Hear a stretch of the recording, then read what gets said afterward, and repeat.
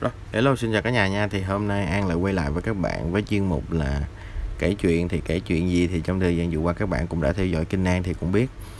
Thì hôm nay câu chuyện của An nó kể về là Bóng dáng của một cô gái tại phòng số 5 Cái phòng karaoke. Thì vào khoảng năm 2015 và năm 2016 Thì có một anh chàng sinh viên Anh có đi làm thêm tại một cái quán karaoke. Thì cái quán karaoke đó là tại vị trí là của một nơi ở Bình Dương thì trong cái quá trình á ảnh làm thì một tuần luôn là làm từ thứ hai đến thứ sáu nhưng mà thứ bảy và chủ nhật á chủ nhật thì làm nguyên một ngày.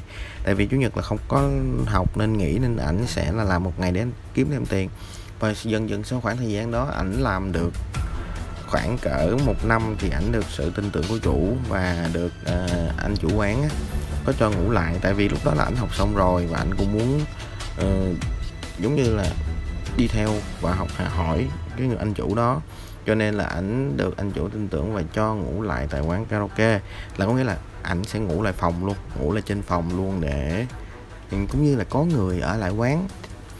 Và trong một ngày đẹp trời nọ, ảnh ngủ lại thì ảnh nằm trên cái phòng đó là phòng số 3 thì phòng số 3 số 4 số 5 thì cái phòng số 3 bên đây thì ảnh là nằm ngủ thì trong cái quá trình ảnh ngủ á ảnh có cảm giác như là ảnh ngủ rồi thì ảnh mới uh, có cái giấc mơ là ảnh đang đi vệ sinh. Thì cái phòng vệ sinh nó đối diện với cái phòng số 3 thì cái anh bước ra thì có một cô gái bước, bận một một cái áo một cái bộ đồ trắng áo dài trắng á đi từ cái phòng đi từ cái lầu đi từ cái phòng số 5 đi ra.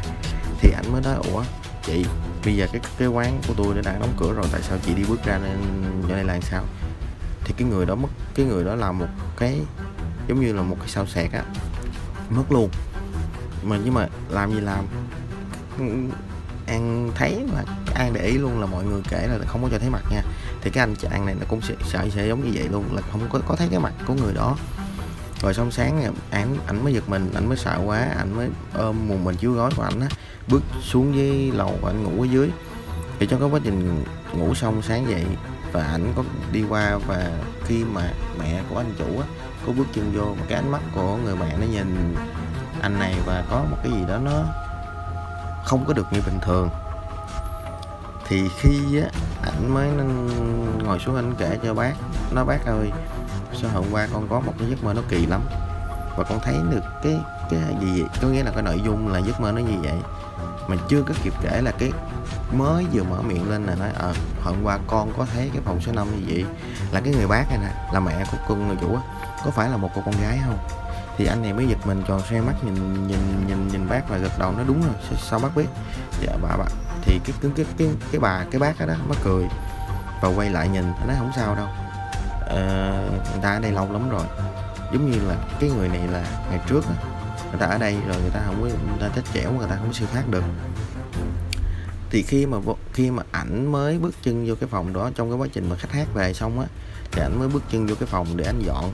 Thì khi anh bước chân vô thì anh thấy rõ ràng trên cái tường nó có hình một cô con gái mà anh đội cầm cái nón lá mà giống như là làm kiểu trên cái bức hình trên phòng karaoke. Thì các bạn cũng biết, trong các, tất cả các phòng karaoke đều sẽ có một cái tấm hình là cái tấm hình đó là giống như là những cái phần những cái hình trang trí á, thì ảnh mới giống như là ảnh hơi bị sợ và ảnh cũng um, hơi là rợn rợn da gà.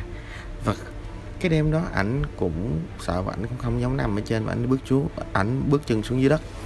Ảnh ngủ.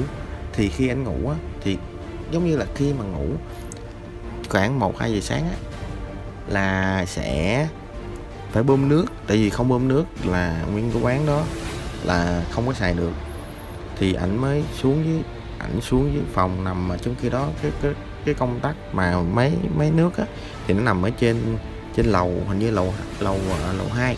ảnh bắt buộc anh phải bước lên lầu 2 để ảnh mở cái công tắc và trong cái quá trình đó anh buồn ngủ quá anh mới bước chân xuống dưới nằm. Anh nói tại vì hình như là bơm hết tất cả luôn á, ba bồn luôn là khoảng 45 phút anh mới bước chân xuống anh nằm anh nằm sao anh hỏi anh thiếp luôn.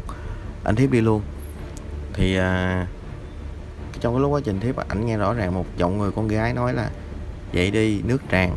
Thì ảnh mới giật mình vậy và ảnh bước chân lên. Thì cái lúc đó là cái nước á giống như là an nói là cái dạch cái dạch này là cái dạch này đi. Là nước nó lé đé lé đé nó, nó muốn tràn ra ngoài luôn rồi.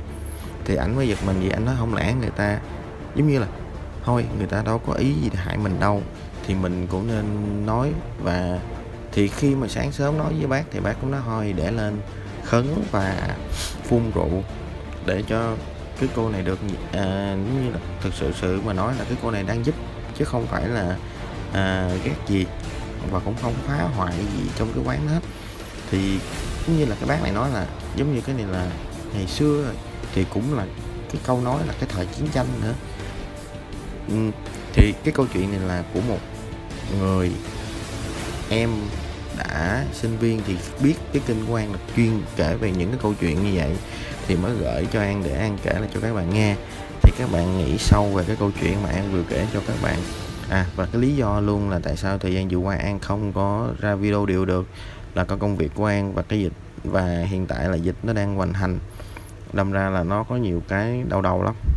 Và cũng ờ, mong các bạn là nhớ đi ra ngoài đeo khẩu trang và rửa tay sát khuẩn thường xuyên vì dịch hiện tại nó đang rất là gây gây cấn luôn. Thì ờ, mong các bạn hãy cùng vì cộng đồng chúng ta chống dịch một cách hiệu quả và mong các bạn sẽ có được nhiều sức khỏe. Nếu thấy hay thì hãy nhớ đăng ký và ấn like à, và chia sẻ để ủng hộ cho An trong thời gian sắp tới.